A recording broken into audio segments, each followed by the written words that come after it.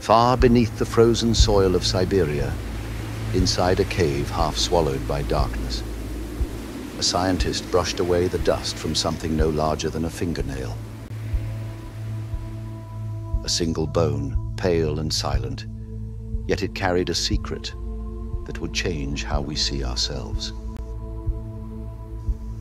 When its DNA was read, it spoke not of Neanderthals nor of modern humans, but of another people, long forgotten, long unseen, the Denisovans.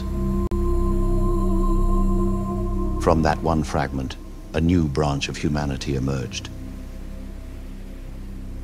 A sister lineage that once walked beside our ancestors, hunted in the same forests, saw the same stars, and then vanished leaving behind only whispers in our blood.